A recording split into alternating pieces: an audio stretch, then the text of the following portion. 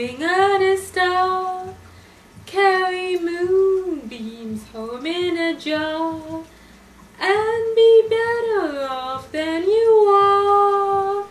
Ooh, or would you rather be a potato? A potato is a dull, useless human being.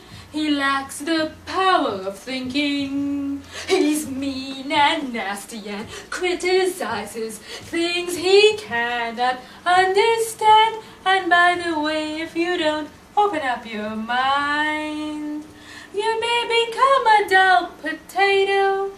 Oh, would you like to swing on a star? Carry moonbeams home in a jar and be better off than you are. Ooh, or would you a mop? A mop is a selfish, miserable fellow. He mopes in the corner all day.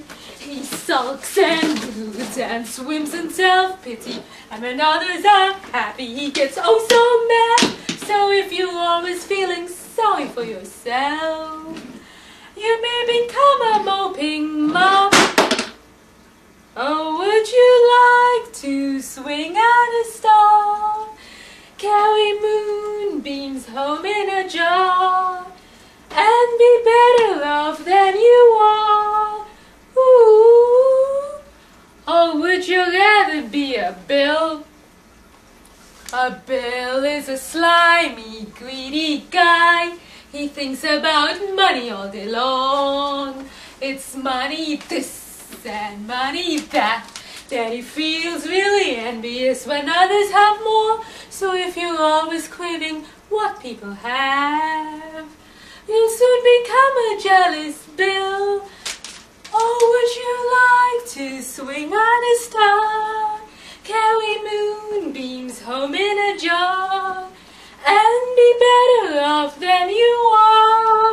Ooh, la la la la la la la la. La la la la la la la la la la la la la la la la la la